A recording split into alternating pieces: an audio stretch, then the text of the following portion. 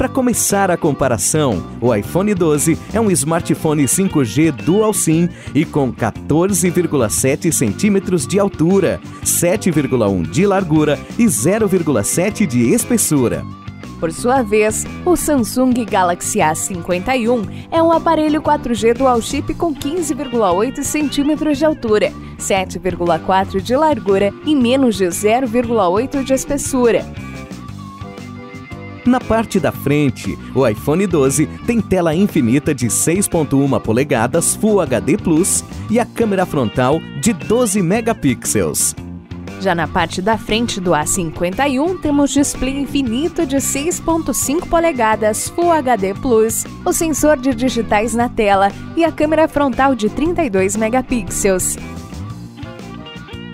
Agora, na parte traseira do iPhone 12, vem somente a câmera principal dupla de 12 megapixels com flash.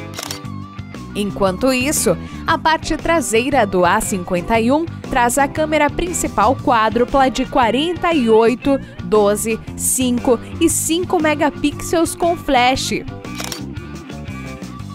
Para rodar jogos e aplicativos, o iPhone 12 foi lançado com o sistema iOS 14 e processador Hexa-Core, junto com 4 GB de memória RAM. Já o A51 veio com Android 10 e processador octa-core ligado com 4 GB de RAM. Além da bateria 2815, o iPhone 12 tem armazenamento de 64 ou 128 ou 256 GB para salvar seus apps, fotos e vídeos. Do outro lado, o A51 conta com bateria 4000 e com armazenamento de 128 GB, expansível até mais 512 GB.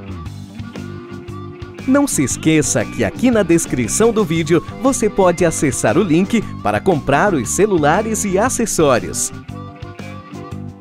E para terminar, os destaques finais do iPhone 12 são o desempenho rápido e eficiente com melhor harmonia entre software e hardware, as câmeras com estabilização óptica e desbloqueio por reconhecimento facial e a proteção contra água e poeira.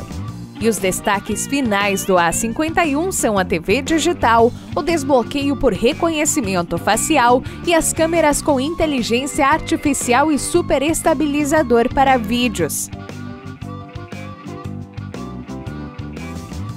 Demais, né? Confira as nossas dicas para os dois celulares, os links na descrição do vídeo e se inscreva também no canal.